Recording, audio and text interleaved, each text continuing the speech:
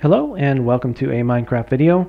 I'm Scootabuyo playing Vanilla Minecraft Snapshot 15W47C of the upcoming release of 1.9 PC Edition and this is the second in a sequence of videos in which I talk about item elevator design. Uh, in this video I'm, I'm going to be talking about some relevant properties of item entities, uh, namely item size, item collision, and item stacking. Uh, so first off, uh, items are a quarter of a block high, and we can test this empirically. Um, a, a, uh, an end portal here is um, 13 sixteenths of a block high, which leaves 3 sixteenths of a block of air be, uh, beneath the water. Uh, and an enchantment table is 12 sixteenths of a block high, which leaves 4 sixteenths of a block of air beneath the water. so an entity with a height that's greater than 3 sixteenths uh, will be pushed by water above the end portal, uh, but an entity with a height that is less than or equal to 4 16ths will not be pushed by water above the enchantment table. And this is the case with item entities we drop an, an item in here and uh, we can see it flows over the end portal but then it gets stuck on the enchantment table because there is 4 16ths of a block of air between the enchantment table and the water and uh, the item entity fits completely within that little air bubble. Uh, it doesn't render that way um, but that, uh, that's basically how the game mechanics work. Uh, okay, so an item entity then is greater than 3 16ths uh, of a block, but less than or equal to 4 16ths of a block. Um, so uh, I'm basically guessing then that it's a quarter of a block high. Uh, item, uh, item entities are also a quarter of a block wide, and we can also test this empirically. Uh, so an anvil next to an anvil, like I have these two arranged right here, that leaves 4 16ths of a block of space in between. Uh, and an anvil next to a chest uh, instead leaves 3 16ths of a block of space in between. Uh, so an entity with a width that is less than or equal to 4 16ths of a block will pass between the anvils, uh, but an entity with a width that's greater than 3 16ths of a block will not pass between the anvil and the chest. And we can test uh, this with item entities.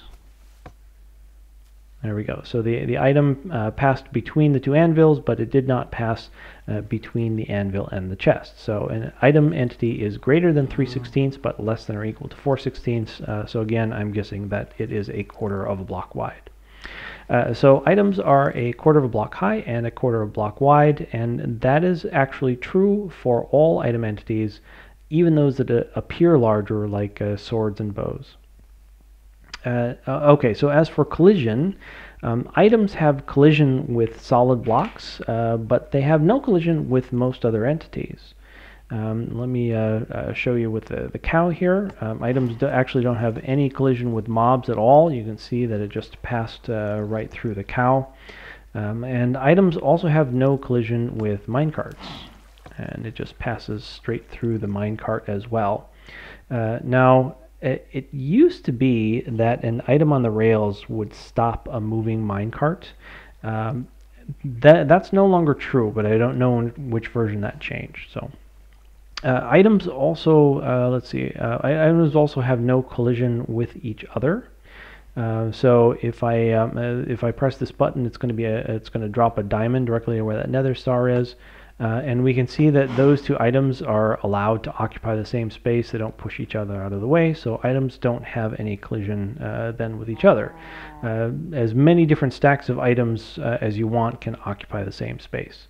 Uh, and that's actually good news because it means that um, the item streams uh, can be batched since large number of items can be processed simultaneously. Uh, boats here are kind of the notable exception uh, to the no collision rule, and, and that's actually true uh, of boats in Minecraft 1.8 and the new boats in Minecraft 1.9.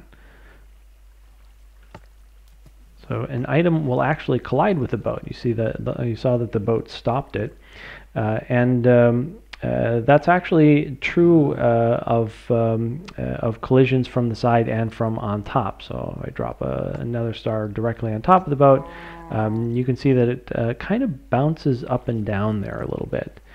Uh, that um, if the that item there that's on the boat that's kind of bouncing up and down, if it bounces into a solid block like a top half slab, it'll actually begin to elevate through the slab. Uh, and so I, I think that um, this holds some interesting promise for um, an innovative redstoneless design, uh, but I haven't experimented that much with it yet. Um, the, the trick would be getting a solid block in place while the item is, is above the boat, uh, or getting uh, the item in place while the solid block is above the boat. Uh, so mm, some interesting potential there, um, but uh, I haven't uh, figured out anything to do exactly with it yet. Uh, all right, as for stacking, uh, there are actually two rules uh, for determining the velocity of a combined stack. Um, so if one stack has more items, the velocity of the combined stack is going to be the velocity of the stack that has more items. Uh, so I'm going to drop an item down at the end of the water stream uh, down there and uh, before I start this one up let me block it here so I'm going to drop one item in the water and another item in the water uh, and now uh, the stack in the water has two items, whereas the stack at the end has only one item. So uh, the combined stack then, uh, once I release these items, uh, you saw that it, it, acquired the velocity of the stack that was being pushed by the water, since the stack that was being pushed by the water had more items.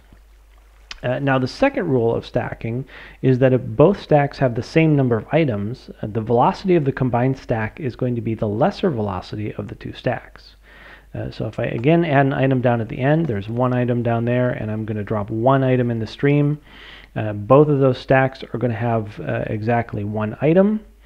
Uh, and so the combined stack then, there we go, combined into two nether stars there.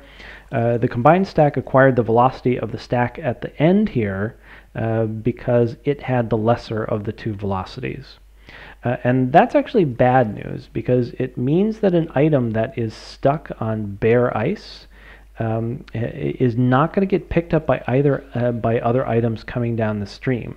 Uh, and worse, other items coming down the stream are also going to lose their velocity and get stuck as they combine with the immobile stack. Uh, uh, so a, good item elevator design is going to minimize this potentiality. Uh, okay, so that is it then for the uh, relevant properties of item entities. Um, in the next video, I'm going to uh, show how to manipulate items in the stream in order to prepare them for the elevator. Uh, if you have any questions or suggestions, please leave a note in the comments, and thanks for watching.